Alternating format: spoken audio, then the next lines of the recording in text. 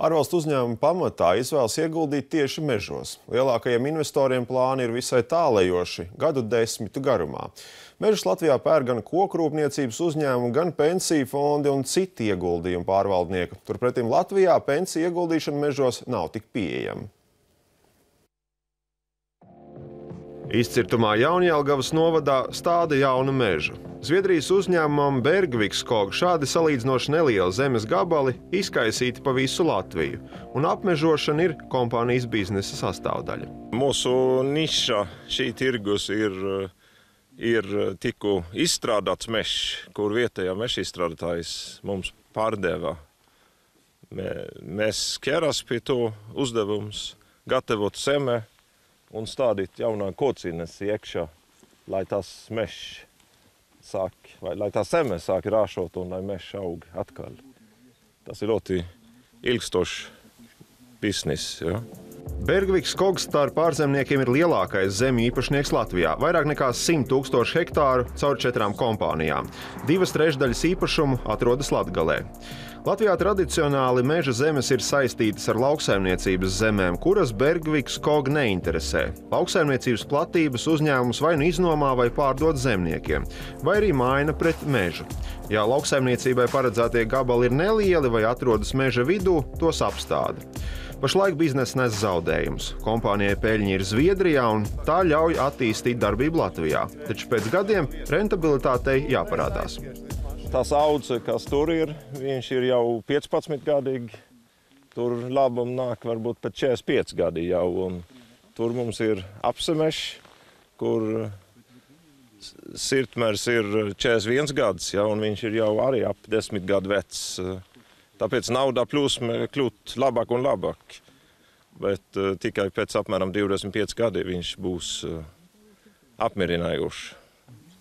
Bet, bet, bet tad, kad tie koki izaug, nu, cik apmēram procenti ir nu, tā peļņa nu, šajā nozarē, ar, ar ko jūs rēķinaties? Nu, kā rentabilitāte vai tam līdzīgi, mēs var, varbūt runāt uh, 3-4% gadā. Desmit lielāko zemju īpašnieku ārzemnieku topā Bergviks Kog pieder puse mežu un lauku.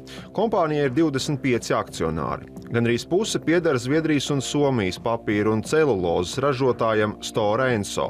Īpašnieku vidū ir arī papīra ražotājs Bilerud Korsnes.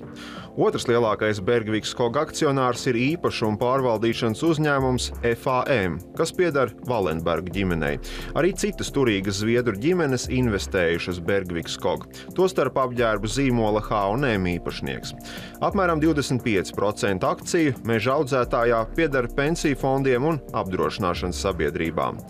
Bergviks Koga Latvijā ienāca 2008. gadā, nopērkot vairākus uzņēmumus. Vienu no tiem viņiem pārdeva Hārvarda Universitāte universitāte. Universitātes aktīvu pārvaldniekam Femus Corporation Latvijā piederēja vēl viens liels meža zemju īpašnieks ar 13,000 hektāru Green Gold Value Forest Latvija. Taču arī šo investīciju Hārvarda Universitāte pārdeva. Greengold nopirka Zviedru pārvaldīta firma Luksemburgā. Darījums notika 2015. gadā, drīz pēc Krimas notikumiem. Universitāte gan nevēlas skaidrot, kādēļ tieši Latvija pametusi. Mūsu politika neļauj komentēt ne investīcijas, ne investīciju stratēģiju. Aiz Bergvikas Koga otrs lielākais ārzemju kapitālam piedarošs meža un lauku īpašnieks ir Foran Real Estate. To kontrolē Storebrand, uzkrāšanas un apdrošināšanas produktu piedāvātājs Zviedrijā un Norvēģijā. Akcionārs ir arī uzņēmējs Gundars Skudriņš.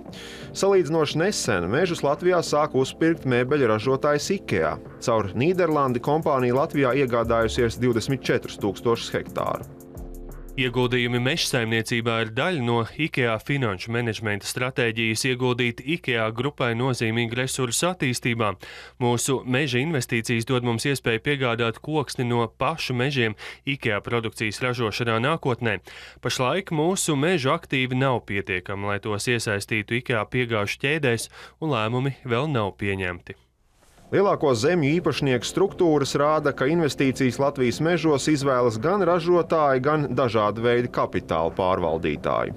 Skandināviem tas ir samērā raksturīgi. Viņiem patīk meži, viņiem, viņi, viņi tic mežiem, eh, viņu aristokrātiem patīk meži. Nu, viņi savā ziņā tā, tā ir tāda tā viņa kultūra. Pensiju fonda pārvaldnieks skaidro, ka atšķirībā no skandināviem, Latvijas topošo pensionāru nauda mežos īsti nenonāk. Tam ir dažādi iemesli.